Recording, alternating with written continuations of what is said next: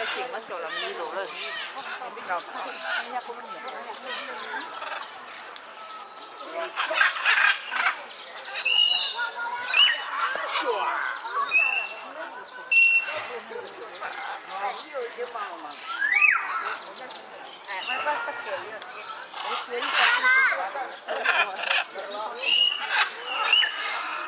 Đó.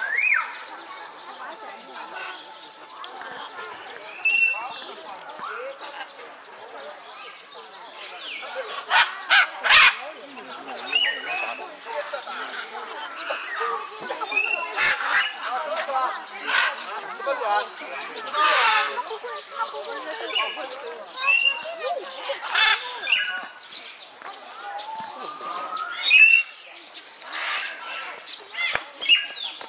么，一起收收纳器，下来，